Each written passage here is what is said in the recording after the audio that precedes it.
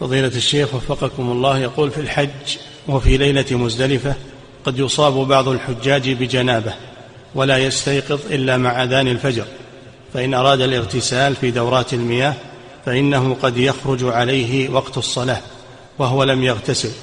هل له أن يتيمم حينئذ؟ يعني ما تصل إليه النوبة إلا بعد خروج الوقت نعم. في زحمة ولا تصل إليه النوبة إلا بعد خروج الوقت. هذا يتيمم ويصلي لأن هذا عذر. نعم.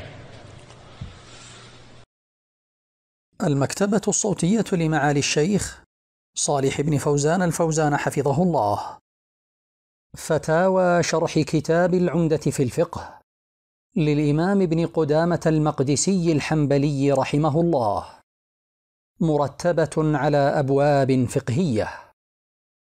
إعداد مشروع كبار العلماء بالكويت أعزها الله بالتوحيد والسنة.